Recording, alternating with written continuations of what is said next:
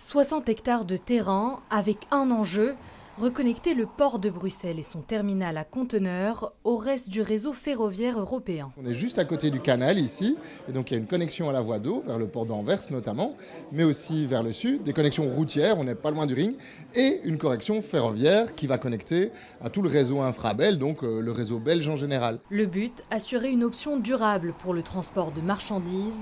Il représente 17% des kilomètres parcourus en région bruxelloise, 29% des émissions de gaz à effet de serre du secteur et 41% des émissions d'oxyde d'azote.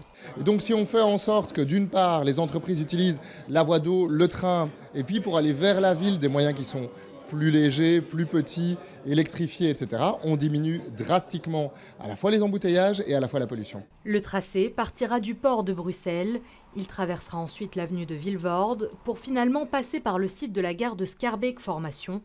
L'objectif, assurer le développement de cette zone encore pour l'instant isolée. Il restait euh, vraiment un rail qui longeait la voie euh, routière, ce qui enclavait complètement le terrain et rendait difficile son accès.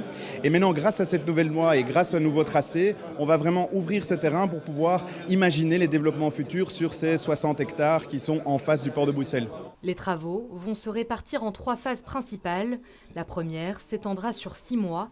Elle débutera le 30 juin 2024, assez pour déjà commencer à accueillir quelques trains. Les travaux de la première phase ont commencé dès janvier pour une mise en service dès juin 2024 d'un premier raccordement sans, euh, sans électrification et sans signalisation entre le port de Bruxelles et le réseau. C'est suffisant pour opérer quelques trains par jour. Ensuite, pour pouvoir euh, prévoir une montée d'activité, il y aura une deuxième phase où nous allons électrifier la ligne. Et là, on pourra avoir des opérations 24 heures sur 24, 7 jours sur 7, sans, sans personnel sur place. D'autres ajustements seront encore nécessaires pour une exploitation complète.